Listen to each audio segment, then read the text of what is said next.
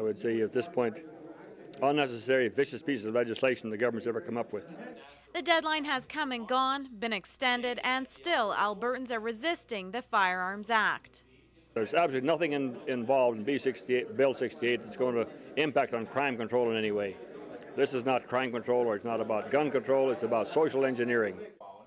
Medicine Hat and area MP Monte Solberg and the president of the Responsible Firearms Owners of Alberta got together with the people of Bassano to discuss Bill C-68, but the meeting seemed to be a little one-sided.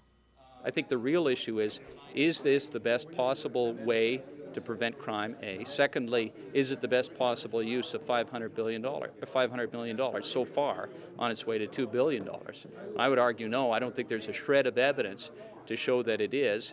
And uh, I would say that the onus is on people on the other side to show how this legislation will do anything to reduce crime. It is a dangerous piece of legislation, especially for firearms owners. It's very powerful. It has the power to remove the, the legal right to own firearms uh, within 10 or 20 years if the government has the will to do it. It's clear from the discussions that residents of Bassano are hesitant about registering their firearms and getting a license. It's against our rights to bear arms and our rights to own property.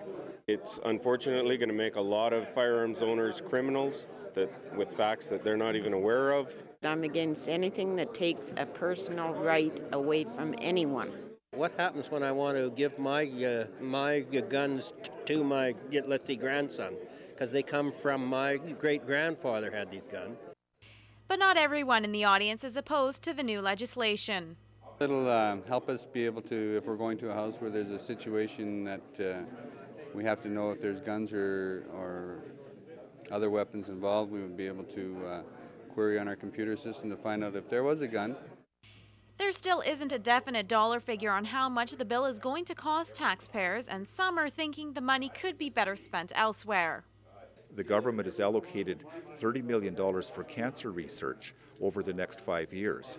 Uh, when we compare the relative risk of dying uh, from firearms misuse and the relative risk of dying from cancer, uh, we can see where money could be better spent. I think uh, people in the West in particular, but across the country who are firearms owners, would be eternally grateful if we would uh, give up this ridiculous pursuit instead um, put in place some common sense measures that would truly punish people who use firearms in the commission of an offense. Now the big question, are you going to register your guns? What guns?